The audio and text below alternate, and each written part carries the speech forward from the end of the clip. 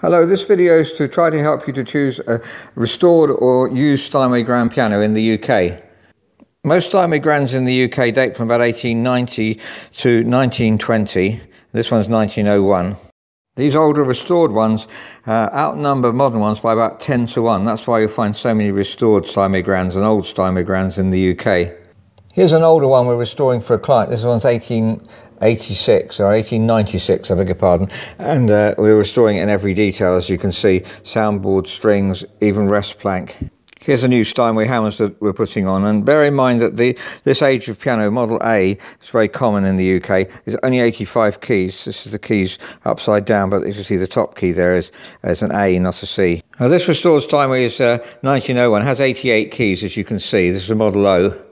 A good restored Steinway of this period will have a tone as rich as a new one, if not richer.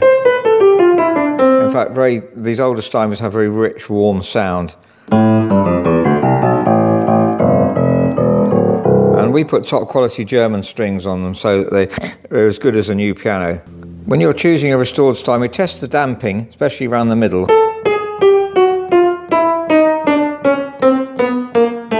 It should cut off really evenly. Now, sometimes they have dampers up to this point here. Uh, sorry, wedge dampers. These we, we prefer wedge dampers right up to here uh, because you get better damping with wedge dampers. That's a, a major factor on restoration is the touch weight.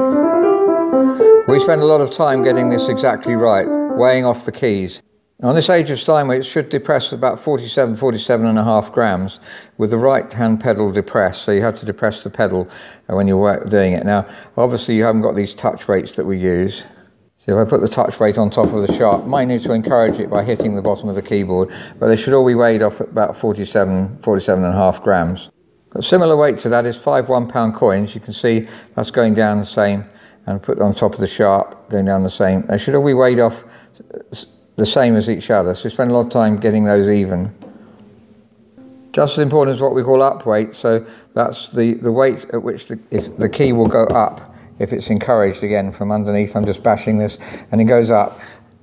Interesting comparison, this is top range Kawai digital piano, and that needs a bit more weight. That's like a modern piano. Modern modern grands, they, they have a slightly heavier touch. Uh, it doesn't matter that much in terms of when you're learning the piano. There's not that much different, but the, the, the geometry of the older action means that you should have it slightly lighter. But notice on the digital piano, the up weight is very different. If I got the same up weight here, just over 20 grams, 21 and a half, uh, you can see it just pulls it straight up. Putting an extra 9.5 grams still goes up pretty, pretty quickly. We need about 35 grams before this one comes up, so uh, the, the up weight really is far too great. And on this cheaper range digital piano, uh, we have down weight here, again, uh, roughly the same as the modern grand piano. But the up weight is almost the same uh, as the down weight, so that really has no, no difference between up and down weight. That's just why it sort of feels so different from a, a real piano. A really important factor is to get the right hammers for the right piano, and this is why you often find a lot of these older Steinways are restored and the action is far too heavy because the hammers are the wrong ones. These are the correct hammers, and if you ask Abel or Renner for the correct hammers for a 1901 Steinway, and they'll give you this weight, uh, and they're just right. These are actually made by Abel. It doesn't really matter if you get Abel or Renner hammers. Renner make most Steinway hammers in, in uh, Europe. Uh, occasionally Steinway have used Abel.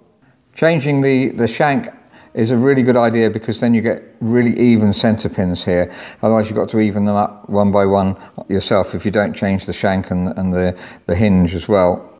Apart from, apart from touch weight, the, the other finishing off is finishing off work that you often find isn't done on restored Steinways. Often the parts used are really good, but the finishing off is the problem. And so it's the, the, the, the, person at the end of the chain that needs to finish things off properly for you and can customize to a certain extent.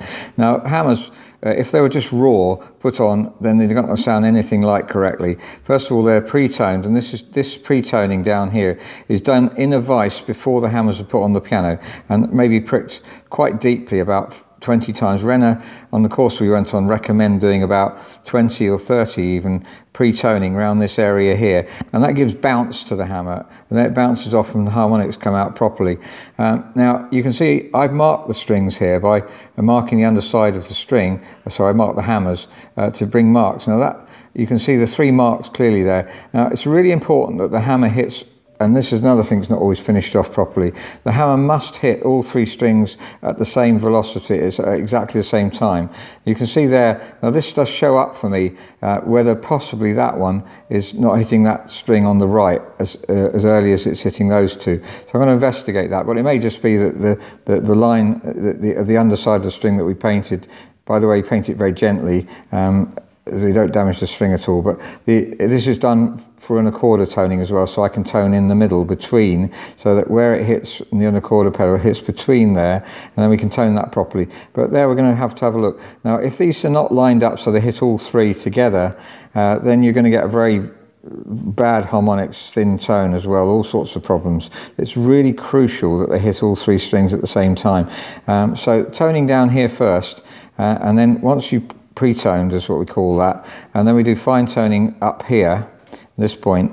This is one toning needle, a thick needle for toning down here. These thinner needles for up here.